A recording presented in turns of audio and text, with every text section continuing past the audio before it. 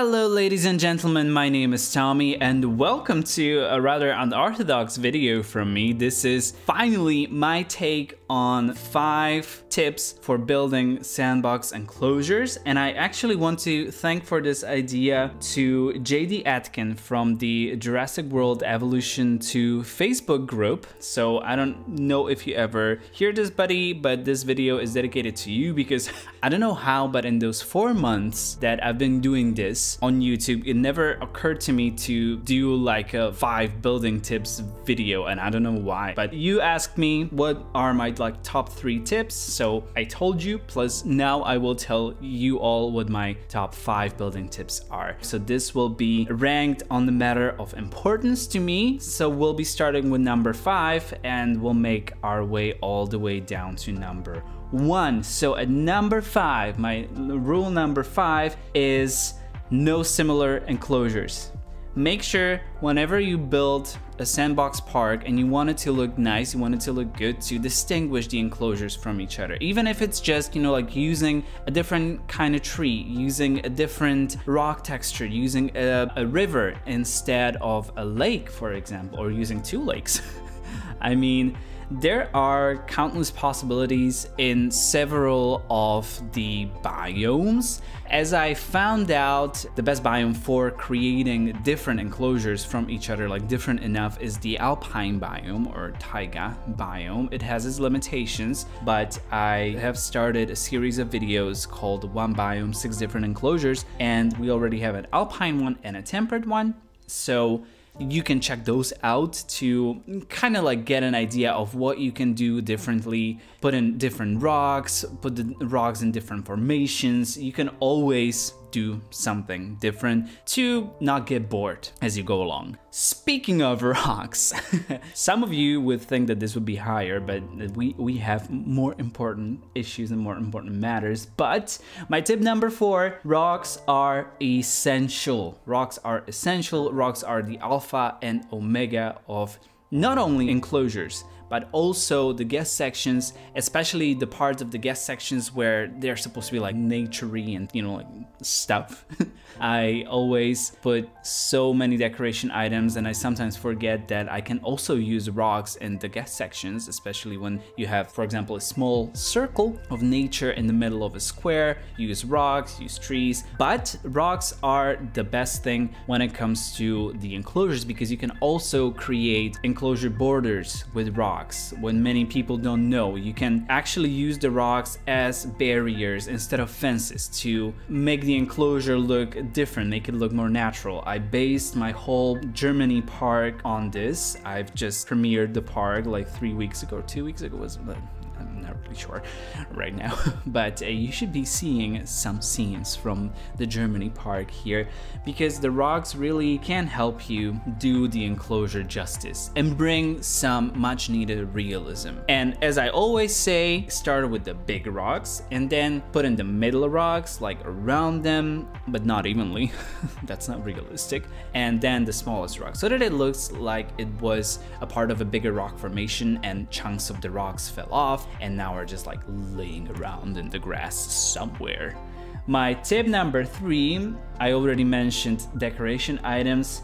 There is never too much decoration.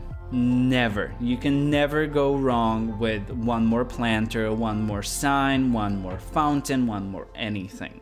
So basically what you want to do, you can see this in my Atlantis speed build series that I am simply overusing these decoration items because now we have a, quite the variety that we have always been asking for in this game. We finally have it, so why not use it? Make sure to decorate your paths with the planters, with the fountains, to line up the paths with the planters. I know it's a lot of work. It's not like you have it finished in five minutes, but if you want to create these squares with intricate path work, that's my bonus tip.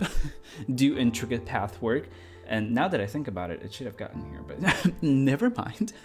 Paths can be decorative, de de decorative, Decor decorative, whatever the pronunciation is, I'm sorry. And as I said, it's never too much. You can never go wrong with it. So use the decoration items. We finally have them, so make use of them. My tip number two is play with the elevation. This is absolutely one of the most important things about building nice enclosures that many times people like completely forget. And you can do so much with just simply creating a plateau somewhere or creating a vista, an overview, creating valleys, creating pits, dips, hills. Bus, club, another club, another club, plane you get the gist, right? So you can do really much with just raising a part of the enclosure. Just a few examples would be my T-Rex Valley. I did a tutorial on that or the cascades where the cascading pools are basically just few spots on the map where the elevation is different and you put water in it and bam, it's a whole another level. It can really do wonders when you put viewing gallery, for example, up on the hill where the guests have an elevated position and dinosaurs are down there and you can always see them and it can create these magnificent views and magnificent pictures as well. I mean, the best pictures are from up above, right? So the elevation really is important and people often forget. Also, when it comes to the things, this should have been like more tips than five because now I'm thinking of more. so tip number one and a half is to play with the textures, play with more textures it's the same as it is with elevation. People do forget to play with the textures. We have more types of grass, we have more types of sand, rock, and dirt. Make use of it. Be different. This goes into the no similar enclosures rule. And this video is getting messy, so let me just get to my final point. The number one tip that you will hear from me, and this is a big one because it's it's not controversial, but it's just my final tip is for the love of the T-Rex, ignore the guest needs. Please do the guest needs will ruin a perfect blueprint for your park because the guests are never happy. They always want their transport, they want their food, they want their souvenirs, they want this and they want that and they want to go to pee. As if dinosaurs, living, breathing dinosaurs weren't enough. You need to have a freaking souvenir shop near you at every single freaking moment. So ignore the rules of the game in general. By the way, I should have said it in the beginning that this goes for the the sandbox park only because I can't imagine applying this rule in the challenge mode. But once you stop caring about what the guests want, what the guests need, you start creating the enclosures and the parks the way that you want it because trying to put every single kind of shop and a bathroom and transportation to every single corner where the guests need it, it takes up space and the space is valuable in this game. Once you stop caring about these things, the parks will get more according to how you imagine them, how you want to create them. Same goes for having to have viewing galleries everywhere. Screw the viewing galleries. Oh, sorry, that might have been too harsh. But yeah, I'm right. The guests should be able to see the dinosaurs from the freaking path right? So we don't really need the viewing galleries if you, for example, do an elevated path and you do an enclosure like under it. You can put in the planters, you can put in the rocks, create nice enclosure that is very natural, like no fence, you have natural barriers and you have no viewing gallery there and it actually looks like a park. it doesn't look like what the game is telling you it is supposed to look like.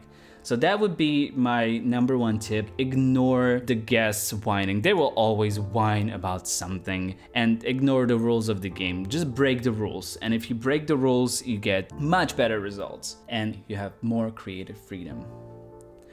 So, thank you ladies and gentlemen for watching this video. Thank you for listening to my five tips. It was basically seven or eight, but who's counting, right? So I want to thank you for watching. If you like this video, please give me a like, comment, or share. And if you think that you could like my content and you have not subscribed yet, please do consider doing so because I have more tutorials coming, more park tours coming, more scenic views videos coming, and generally a lot of stuff. So I will be glad to see you here again. And till the next time, have a great day and thank you very much. Bye bye.